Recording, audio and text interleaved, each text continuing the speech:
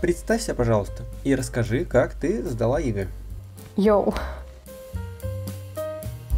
Меня зовут Катя, и я а, готовилась у Ильи Васильевича к математике и физике. К математике два года и физике один год. А, я написала математику на 78, а физику на 66 баллов. А, на самом деле, когда я увидела результаты по математике, я была безумно рада. Это не такое большое количество баллов, которыми можно было бы хвастаться, но я рада этим баллом в первую очередь, потому что я поборола свою невнимательность. Все те задания, которые я написала э, и которые выполнены правильно, э, я написала хорошо. А те, которые неверны, написаны мною неверно от незнания, либо от неопытности. Э, хотя у меня очень часто были грешки с невнимательностью. По физике у меня такое довольно низкое все-таки количество баллов. В первую очередь от моей лени, потому что под конец э, года я стала меньше уделять этому предмету времени. И на самом деле я была готова к таким результатам. Я писала пробники на такое количество баллов, но я не то чтобы разочарована. Это то, чего я ожидала. Совпали ли задания на ЕГЭ с теми, которые мы прорешивали во время подготовки. А, да, очень многие совпали с шариком из второй части. А, еще задание было а, с отрывом от поверхности, но у меня уже не было времени, я не успела даже приступить к этому заданию. Первая часть, она вся довольно похожая. Я даже не могу назвать какие-то конкретные. Что не хватило, чтобы получить более высокий балл? А, по математике мне не хватило тупо времени. Я могла бы подготовиться, условно говоря, к каким-нибудь параметрам и написать на более большое количество баллов, но я решила заострить свое внимание на отработке того материала, который мне известен, и чтобы прийти и написать на все сто процентов, что я считаю, я и сделала. А, по физике э, мне не хватило... Я забыла слово силы воли, чтобы продолжить готовиться. Но мне тупо не хватило сил. Брала с собой шпаргалки? Да, конечно. Но они мне средне пригодились. Я один раз подглянула одну формулу. А, да, совет один. А, когда ты приходишь а, на ЕГЭ и вас а, запускают в аудиторию, есть огромное, огромный промежуток времени между началом, собственно, ЕГЭ и когда вас запустили туда, вы просто тупо сидите.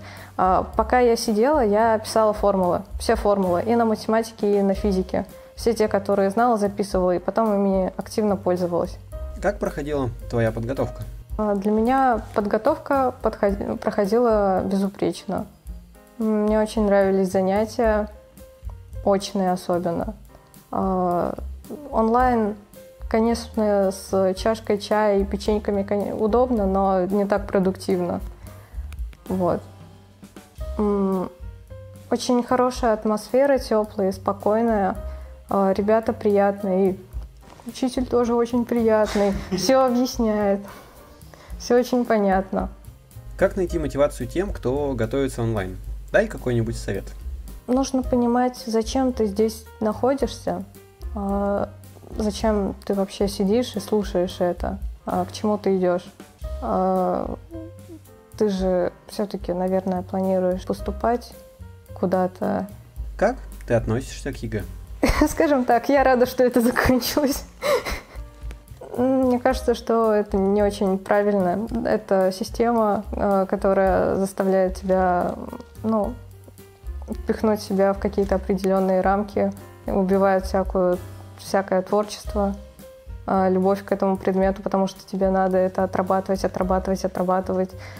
А, это немного надоедает и превращается в рутину. Какие у тебя планы на будущее? Я планирую поступить в ВУЗ на бюджет. Все. А дальше как пойдет? Мне хотелось бы на самом деле поступить в СПБ ГАСУ на строительство и пойти работать по специальности, потому что мне это ну, кажется интересным участвовать во всем этом. Я не вижу смысла от того, что ты получаешь образование зачем-то и не идешь по специальности. Я иду в ВУЗ э, не для того, чтобы потом пойти работать по специальности. Мне очень хочется надеяться, что мне это все понравится и реально затянет. Потому что сейчас, э, не зная все эти тонкости, мне это кажется безумно интересным. Как ты готовилась к ЕГЭ в школе? А, у меня самые лучшие результаты в классе. А, математический класс. Вот. А, физика мы готовились ужасно. У учителя определенно не хватало опыта, чтобы правильно подать предмет, рассказать все это интересно и понятно.